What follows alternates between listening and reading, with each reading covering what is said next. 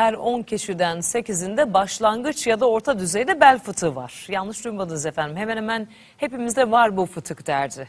Peki bel fıtığı neden bu kadar yaygın? Hem bunu sorduk hem de evde yapılacak bir iki basit egzersizle fıtıktan korunma yollarını öğrendik. Merhabalar, ben fizyoterapist Abdullah Güdenli'de.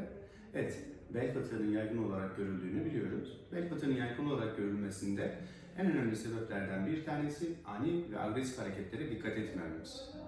Tabii sadece ani ve agresif hareketler bel fıtığı sebebi değildir. Burada önemli olan bel bölgesi kas gruplarının üşütülmemesi ve spazm dediğimiz kas tutulumlarının dokuda oluşturulmamasıdır. Çünkü üşütme ve terlemeye bağlı olarak dokuda spazm oluşturulduğu zaman kaslarda eklem ilişkisinde çalışma prensiplerinde aksamalar meydana gelir. Burada disk herniası dediğimiz bel fıtıklarına sebep olur.